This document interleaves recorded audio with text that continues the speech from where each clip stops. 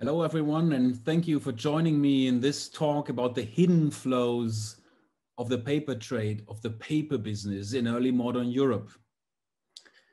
When talking about paper mobility, as this conference, for example, intends to, I think it's important to remind ourselves of the trading activities referred to as material flows and the functioning of a circular paper economy behind all early modern paper usages. And these usages include writing, publishing, and wrapping. In fact, and as I'll try to highlight in the next 15 minutes and in the following discussion, the mobilities behind paper usages of the period range from rag transportation to recycling networks to shipping agencies and beyond. The publishing or printing industry of the period is only one part of the larger and widely interconnected paper flows. Early modern Europe was a paper age, an age of paper production, of paper usage, and of paper consumption, and also of paper trading. When referring to the historiographical period of European early modernity from circa 1400 to 1800, it seems appropriate to name this time span the first European paper age. And this paper age was a business run by merchant activities, fueled by an increasing demand for paper and kept alive in a recycling modus that included linen rags, old papers, new papers, and the paper consumption in administrations, in communications, and in the so-called print industries. As a reminder, linen rag, as you can see um, on this on this picture, on this image, um, was used and is often find uh, as a, as a leftover in paper sheets. So here you have to symbolize for these connections between a, a trading activity, an economic activity, and the publishing industry. You all know that by the time that paper was introduced and produced in Europe, first by Arab paper makers and then via Arab trade contacts, the artifact paper was already an established and known product used and produced in China for more than 1,300 years. Europe's first paper age may have started with trade imports, but it's commonly known that a separate way of producing paper eventually developed. By the 14th century, paper mills became an investment option within the commercial world. And with the spread of the art of making paper through Europe, paper sheets started their journey as a commonly known economic good. In fact, paper products of European origin quickly became a trans-regionally sold, moved and traded good. In keeping with the broader trade mobility of the period, these early modern paper flows reached places and regions both with and without their own paper mills and established a first regular market for the purchase, usage and consumption of paper. As a reminder, from its earliest days in Europe, the man-made artifact paper was a hand-formed and moved economic good that was produced as a commodity to be sold. The accompanying economic activities of producing, of moving, of selling paper are echoed in historiographical interpretations as the founding moments of an early modern paper industry. The products made, moved, and sold by this industry, mainly for writing, printing, and wrapping purposes, were purchased and used in growing numbers paper became a good and steadily selling product in Europe as paper was increasingly used in more and more individual and public contexts, including education, administration, correspondence, arts, transports, and of course, within the burgeoning print industries in Europe. In many paintings of the time, like this example from the 17th century from the Netherlands, um, we find these paper usages reflected. If you use Twitter, have a look at uh, using the hashtag paper history to look into more examples of this paper usages reflected in paintings. New and, oh, there's another one, another example. Here's paper used uh, as for wrapping purposes, old paper, that's a used paper used again to, um, to sell or to trade pepper New and quickly expanding paper usages in archiving and administration and communicating and wrapping activities are legion within the historiography of early modern Europe. And in some, they tell us a history of paper as one of the main material characteristics of the period. Purely by numbers, the artifact paper was among the most typical economic goods of the period. Yet, however, the historiography of early modern Europe somehow remains a curiously paperless history. And I think we need to change this. What is missing or what we should pay more attention to, in my belief, is the way and context of this mobility of paper. As I told you, the artifact paper was moved, it was stored, traded, resold, recycled, and so on. We need more attention to the material flows of this paper economy in order to better understand paper usages and paper problems for printing, for writing, for wrapping. In a nutshell, we need to find answers to the basic question, where are the yet invisible trading activities behind all these visible paper relicts that were once produced, moved, read, stored, used, recycled all over Europe? Recently, investigations into this overlooked but crucial economy began for early modern Europe by focusing on the practices, materials, and networks of the paper trace, paper trade.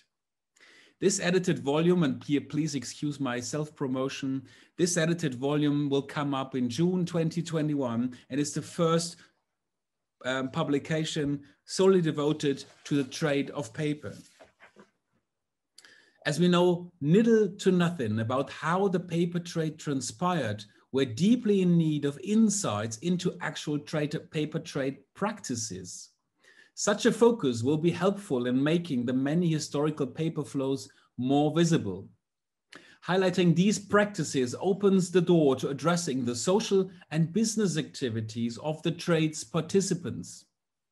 Describing these practices, which include, for example, the transporting, the collecting, the storing, and of course the selling of paper and its material resources, is an actor and praxis-oriented approach to human involvement in trade activities that made up in sum what we call the paper trade. On a very basic level, approaching the practices of the trade requires considerations of all human involvement in the processes of the paper industry we need an actor-led perspective on these trades, on these practices. Who is involved? Who runs the material flows of this economy? Regarding this often used image from the 1560s, a copper plate print from Jost Amman, we may ask the paper transporting boy on the left, where are you going? What exactly are you moving? And to whom are you selling it? To what price? Another benefit for paper trade history is a nuanced material focus. To begin with, materiality as a theme opens a renewed discussion of the plurality of paper products and raw materials traded on the early modern markets for paper. It seems worth remembering that dozens to potentially hundreds of different kinds of paper products and relevant raw materials required in paper manufacture made up the material flows of the paper trade. Also available on these paper markets were used and old papers from unsold, rejected, or slow selling books, as well as from ephemeral publications like small pamphlets or cheap newspapers that were systematically sold to customers like fishmongers or grocers, and of course to paper makers who need this material resource for the manufacture of new paper. Waste and old papers are part of this paper economy. And we need a European and later um, a trans-regional perspective um, on the trade flows of this trade, on the trade units used. A ream, for example, is not the only unit and paper trade, and paper was offered in so many units from thousands of sheets to single sheets. Paper was cheaper and is more available than usually calculated within our historiography. We should look more carefully again what was sold in bookstores and elsewhere. On the right, you see the interior of a Dutch bookseller from the 17th century and his normal range of publications on offer. On the left, you see trade units of the paper trade, reams, as here on a, on a ream wrapper from Isaac, Isaac van Putte, um, a paper trader. And if you look, if you look back on the on the bookseller, um, on the bookshop interior, you see that these paper reams are reflected on top of the shelves. A material focus also explores the physical conditions of the trade and transport of these paper goods in early modern Europe.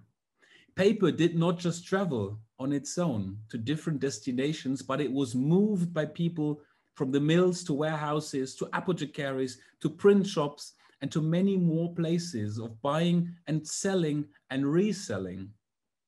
A nuanced paper history investigates the materiality of these movements as well as where they break down in more detail. In fact, the material details of the shippings of paper commodities by boat and by wagon are largely unknown, as are the locations and material conditions of the places of storage of paper products. We are in need of studying the physical ins and outs of paper in order to write a material story of the commodity and its trade. Who transported, sold, and bought paper? Who stored it under which material conditions? Where and who resold it again? We need to ask more questions, uh, for example, about this image. In the back, you see a paper mill. So here's the place, the location of manufacture, and you see the selling of goods.